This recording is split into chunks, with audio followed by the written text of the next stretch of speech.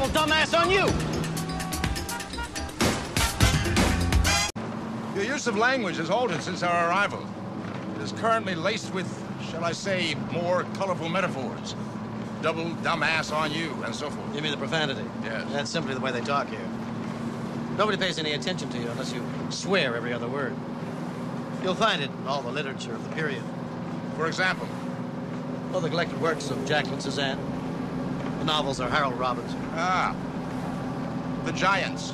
Are you sure it isn't time for a colorful metaphor?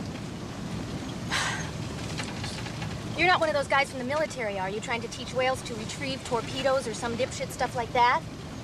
No, ma'am, no dipshit. Well,